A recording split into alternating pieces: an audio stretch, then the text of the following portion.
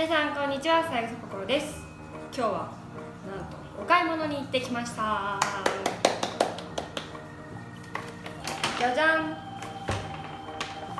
ちらです。なんとこの中に新たにリンゴルフで使おうと思ってるものが入っています。何かと言いますと何だと思いますか？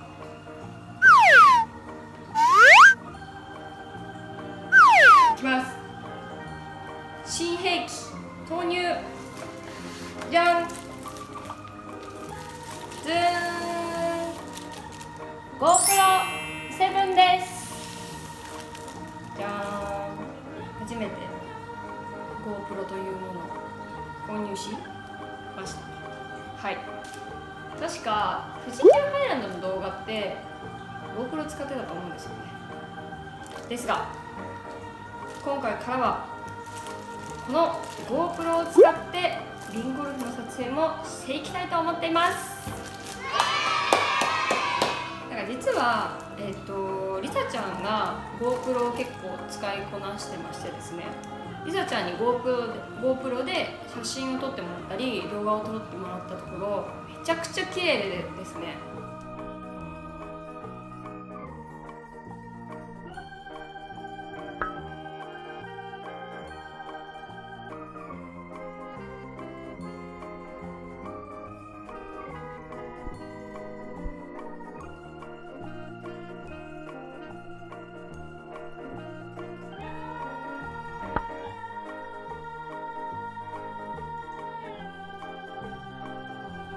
あまりの綺麗さに。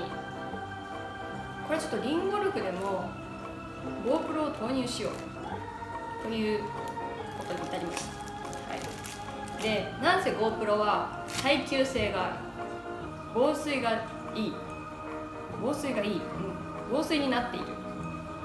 そしてスローもできる。さらになんかいろんな画角から結構面白おかしく撮れる。でゴルフにもねきっと向いてるんじゃないかと思いましてですね。でなんか YouTube でいろいろ見たら音声が良くなってなんかそのもごもごもごっとした音声が結構改善されたらしいんですよ。最近のこの発売したばかの GoPro7 はですね。はい。なんで私はまだ全く分かりません初心者なので早速ね開封をしていきましょう。おおまずケースがかっこいい。あ出てきた。おおじゃん。GoPro が出てきました。この中に説明書とか入ってるのかな。あなんせ機械音痴なもんで。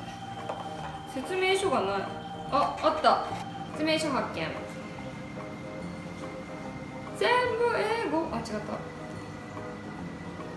は説明書なのか？違いそう。あちょっと難しいですね。出しましたこれ難しいです。おなんか簡単ガイドみたいなの出てきました、はい、じゃあ早速この GoPro と。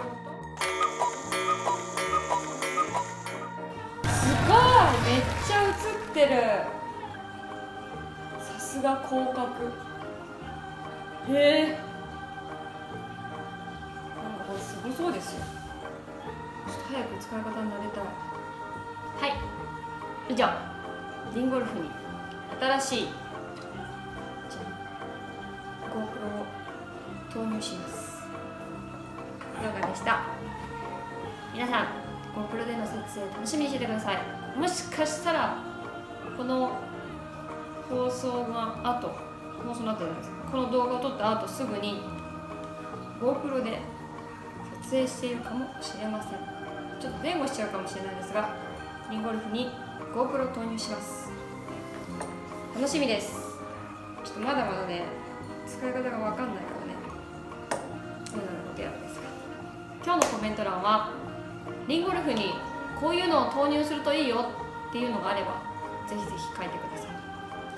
トラックマンとかでちょっとあの今投入してもなんていうんですかたた高すぎるのとどう数値見ても私がいまいち分かんないのとかいろいろあったりするんで、まあ、そういうのもねどんどん投入したいんですがあのこういうお手軽のお手軽お手軽お手軽なもの何かあればこういうのを撮影に使うともっといい絵が撮れますよとかこういう機械おすすめですよとかあれば道具ですね。何でもいいです。道具についてあればコメントでたくさん書いてください。バイバーイ。